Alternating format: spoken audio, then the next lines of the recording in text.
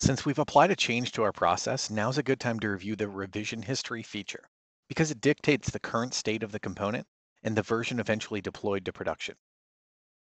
The revision history is an available feature for all components and is displayed in the bottom right corner of the process canvas. It provides the ability to view and edit versions of a given component. It offers a simple way to overwrite invalid revisions similar to an undo. And each component has an independent revision history. Although we can reset revisions for a full process, the change will not affect subcomponent revisions. So basically the mapping, connections, operations, etc. will not be rolled back if we choose to restore an older process revision. So be careful when applying these changes. Most rollbacks are performed within the map component. We currently have multiple versions of the process, so in order to publish our most recent changes, we need to deploy the latest revision of the process in order to be able to view alerts in the process reporting. Let's examine revision history together in exercise 8, and then we're going to redeploy the process in exercise 9. So these are walkthroughs, so you'll be completing the activities with me. So to recap again, revision history displays the standard information about a component including when it was last modified by a specific AtomSphere user. So this information is helpful when you need to undo changes at the component level and restore previous configurations. So in this exercise, we're going to review a previous process version and note the changes.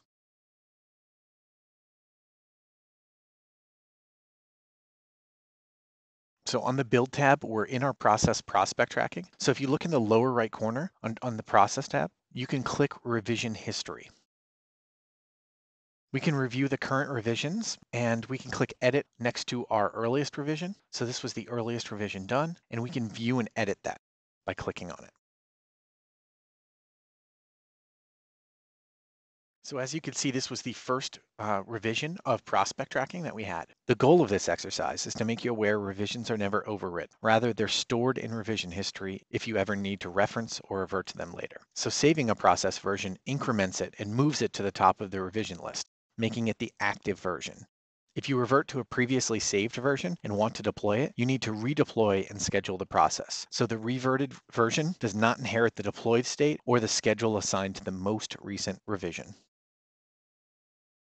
So we're going to click close and we're going to close this without saving. So make sure you do not save the first because we do not want to overwrite. So we're going to close without saving.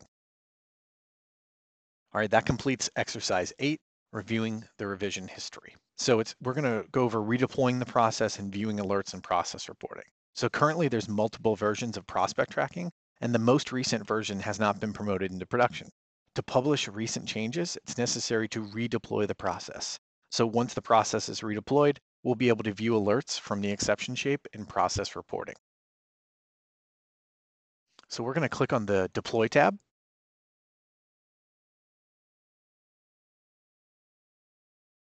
And under Developer 1, you see prospect tracking.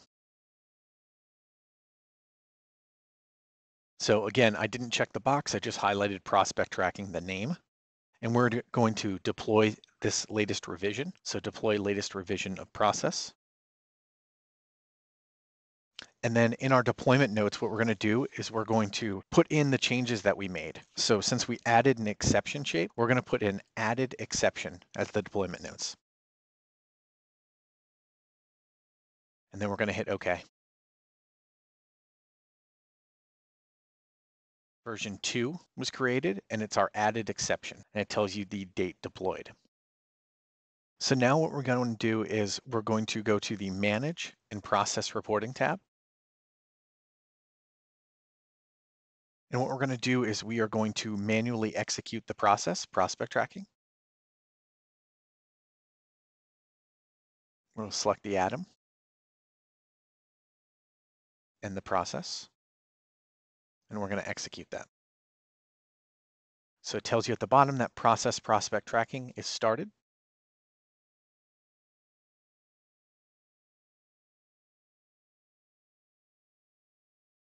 And we can refresh And now you can see that process prospect tracking completed with an error. So our previous versions before the exception shape completed, but without an error. So now we have an error in that process. So we could look at the error message itself, which is the account ID that we asked for and the name. So this is what we set up in the exception shape to be displayed as the error message. And one of the things you can see here too is since it has a little person on here instead of the calendar, you can see that it was a manual execution versus a scheduled execution. Another thing we can do is we can click on the timestamp.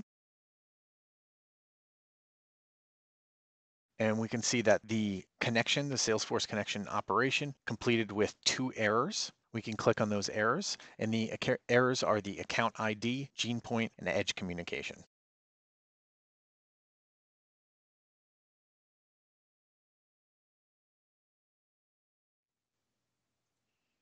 All right, that completes exercise nine.